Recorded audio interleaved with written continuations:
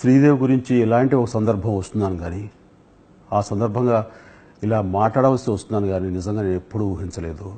ఇది చాలా దురదృష్టం. అందం అభినయం కలబోసిన నటి శ్రీదేవి అత్యద్భుత నటి. అలాంటి నటిమణి అంత ముందు లేరు ఇక భవిష్యత్తులో కూడా వస్తారని అనుకోను.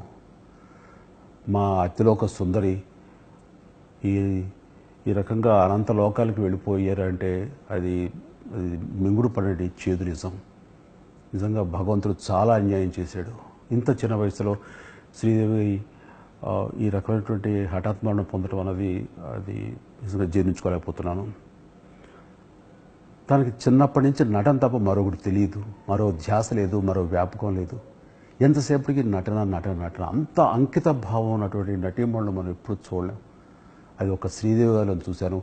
అది చూసి ఆ అంకిత భావం చూసి నేను ఎంతో నేర్చుకున్నాను. నేను ఎంతో ఇన్స్పైర్ అయ్యాను. తన తోటి నేను నా బిగినింగ్ ఆఫ్ మై కెరీర్లో నేను రాణికసు రంగం అనే చిన్న సినిమా చేశాను. ఆ తర్వాత రెండు మూడు సినిమాలు చేసిన మా కాంబినేషన్లో వచ్చిన అత్యద్భుతమైన దృశ్య కావ్యం జగదగ వీడు అతలోక సుందరి. అందులో ఆ దేవత పాత్రలో ఎంతగా ఒతిగిపోయిందంటే ఆ పాత్ర కోసమే ఆవిడ పుట్టిందా? ఆవిడ కోసమే ఆ పాత్ర సృష్టించబడిందా అన్నట్లుగా తెర మీద అంత అద్భుతంగా కనిపించింది. ఆ తర్వాత చేసిన ఆఖరి సినిమా ఎస్పి పరశురాం ఇక సినిమా పరంగానే కాకుండా శ్రీదేవి గారికి మాకు కుటుంబపరమైనటువంటి సాన్నిహిత్యం కూడా ఉంది.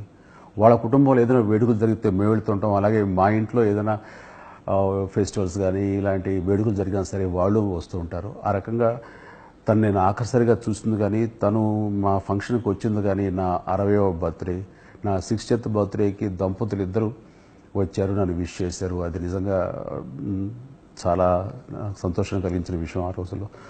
ఇక శ్రీదేవి గురించి నిజంగా ఇప్పటికీ మార్నింగ్ వినగానే ఒక షాక్ ఒక దిగ్భ్రాంతిలోనే నేను ఇది నిజమా కాదా అని నెమ్మదిగా జీర్ణించుకోవడం మొదలుపెట్టిన దగ్గర నుంచి అసలు మనసు మనసులో లేదు.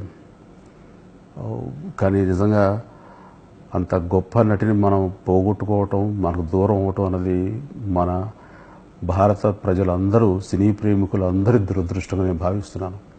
భగవంతుడు నిజంగా చాలా అన్యాయం చేశాడు.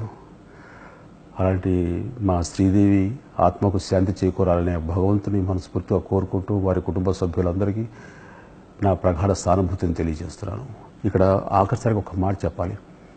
కోటాను కోట్ల మంది ప్రేమను తన నటనతో ఆకట్టుకొని వారి అభిమానాన్ని పొందినటువంటి శ్రీదేవి నిజంగానే చిరస్థాయిగా ఉండిపోతారు. ఆవిడ ఎప్పుడూ వాళ్ళ మనసులో జీవించే ఉంటారు. ఆవిడకి మరణం లేదు. ఆ రకంగా ఈ సినిమా ప్రపంచం ఉన్నంత వరకు మా శ్రీదేవి బతికే ఉంటుంది.